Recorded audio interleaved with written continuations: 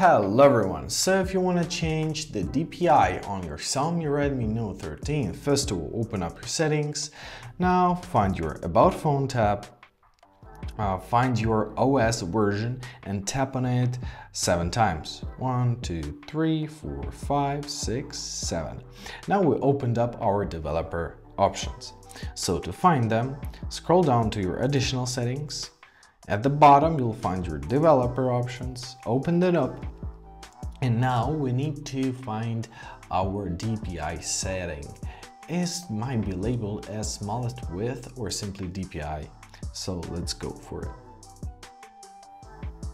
All right, here it is.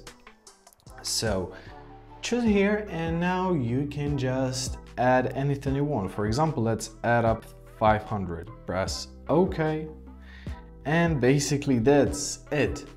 Uh, if you wanna change your options and go back to your standard DPI, once again, find it, here it is, and turn it back to 350, for example.